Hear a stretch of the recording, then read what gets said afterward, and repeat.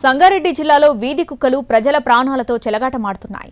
గుంపులుగా తిరుగుతూ వీధుల్లో వెళ్ళే వారిపై దాడి చేస్తున్నాయి. చిన్నారులు కనిపిస్తే చాలు పీక్కు తినేందుకు ఎగబడుతున్నాయి. దీంతో పిల్లలను బయటకు పంపడానికే తల్లిదండ్రులు జంకుతున్నారు. సంగారెడ్డి జిల్లాలో గ్రామసింహాలు వీరంగం సృష్టిస్తున్నాయి. గల్లీలో వెలిసిన చికెన్ మటన్ దుకాణాలే పరోక్షంగా కుక్కలు రెచ్చిపోవడానికి కారణమవుతున్నాయి. షాపు యజమానులు మాంసం వ్యర్థాలను ఎక్కడ పడితే అక్కడ పారేస్తున్నారు. మాంసం వ్యర్థాలను తినడానికి అలవాటు పడిన కుక్కలు క్రూరంగా మారుతున్నాయి. ఎవరైనా ఒంటరిగా కనిపిస్తే దాడి చేస్తున్నాయి. రెండు వేల ఇరవై రెండు సంవత్సరంలో మూడు వేల రెండు వందల యాభై ఐదు మంది రెండు వేల ఇరవై మూడులో రెండు వేల ఐదు వందల ఇరవై మంది రెండు వేల ఇరవై నాలుగులో గత నెల జూన్ వరకు మూడు వందల యాభై మూడు మంది జిల్లాలో కుక్క కాటుకు గురయ్యారు. ఈ కేసులు ప్రభుత్వ దవాఖానాల్లో వ్యాక్సిన్ వేయించుకున్న వారివి మాత్రమే.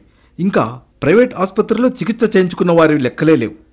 నూటికి నూరు శాతం కుక్కలతో చాలా భయంకరమైన ఇదైతున్నది. పిల్లలు బయటికి రావాలంటే చాలా ఇబ్బంది పడుతున్నారు. ఒక్క పిల్ల కానీ రావాలంటే ఒక ఇరవై ముప్పై కుక్కలు ఒక్క కుక్క బహుమనం కానీ ముప్పై కుక్కలు అరకు వస్తున్నాయి. మా కాలం స్టార్ట్ అయింది కాబట్టి మళ్ళీ ఇంకా పిల్లలు కుక్క పిల్లలు అవి బాగా వచ్చి మళ్ళీ ఇంకెక్కువ పరిస్థితి ఇప్పుడు హండ్రెడ్ పర్సెంట్ ఉన్నాయంటే మళ్ళీ టూ హండ్రెడ్ పర్సెంట్ అయితే కుక్కలు. యాక్చువల్గా ఏంటంటే పోయే వాళ్ళకు పిల్లలకు పెద్దవాళ్ళకి కానీ పిల్లలకు పెద్దవాళ్ళ మీదకి వస్తే పెద్దవాళ్ళు ఏదో తప్పించుకోవడం జరుగుతుంది. చిన్నపిల్లలు మాత్రం మీద కూడా కొరికేస్తున్నాయి మరోవైపు వీధి కుక్కలు చిన్నారులపై విరుచుకుపడుతూ ఉండడంతో చిన్నారుల తల్లిదండ్రులు తీవ్ర భయాందోళన వ్యక్తం చేస్తున్నారు. పాఠశాలలకు సైకిళ్ళపై వెళుతున్నా నడుచుకుంటూ వెళుతున్నా బయట ఆడుకుంటున్నా కుక్కలు గుంపులుగా దాడులు చేస్తున్నాయి. మూడు రోజుల క్రితమే ఇస్నాపూర్లో ఎనిమిదేళ్ళ బాలుడిపై దాడి చేసి కుక్కలు బాలుడిని చంపేశాయి. మెదక్ ముత్తంగిలో చిన్నారులపై దాడులు చేశాయి. సంగారెడ్డిలోని శ్రీనగర్ కాలనీలో బయట ఆడుకుంటున్న ఆరేళ్ళ బాలుడిపై కుక్కలు దాడికి దిగాయి. గుంపుగా ఏర్పడి బాలుడిని కరవడంతో బాలుడు తీవ్రంగా గాయపడ్డాడు. ఈ ఘటన సీసీ కెమెరాలో రికార్డయింది. మహిళలు వృద్ధులు కూడా ఒంటరిగా వెళ్ళాలంటే జంకాల్సి వస్తున్నది. రాత్రి సమయాల్లో అయితే కుక్కలు పాదచారులనే కాదు బైకులపై వెళుతున్న వారిని కూడా తరుముతున్నాయి. దీంతో ప్రమాదాలు చోటు చేసుకుంటున్నాయి. జిల్లాలోని అన్ని గ్రామాలు మున్సిపాలిటీలలో కుక్కల బెడద ఉందని ఫిర్యాదులు అందుతున్నాయి. అయినా అధికారులు నిద్రావస్థలో ఉండి పట్టించుకోవడం లేదని ఆరోపిస్తున్నారు జనాలు. బెడద ఎక్కువైంది.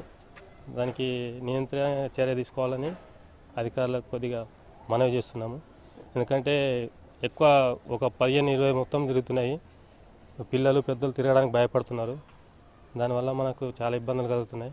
కార్లు వెళ్ళేటప్పుడు వెంబడబడుతున్నాయి. డేలా రాత్రి ఎప్పుడంటే అప్పుడే ఎనీ టైం ఒక్కొక్కసారి పదిహేను ఇరవై కుక్కలు ఉంటున్నాయి.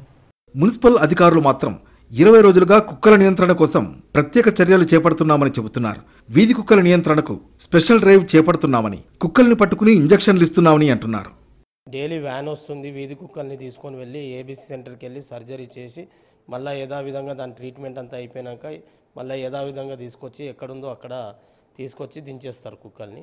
సో దాంతో ఏమవుతుందంటే దాన్ని సర్జరీ చేసినాక దాని యొక్క గ్రోత్ పెరగదనమాట ఇంకా ఫర్దర్గా కుక్కలు గ్రోత్ కాకుండా ఉంటాయి. రెండోది ఏంటంటే ఇప్పుడు అవి ఇప్పుడు కరిచినా ఏం చేసినా కానీ దాని ఎఫెక్ట్నెస్ ఎక్కువ ఉండదు అది. మొత్తానికి కుక్కల భయంతో బయటికి రావాలంటేనే జనాలు హడలిపోతున్నారు. సంబంధిత అధికారులు కుక్కల నివారణకు చర్యలు తీసుకోవాలని డిమాండ్ చేస్తున్నారు.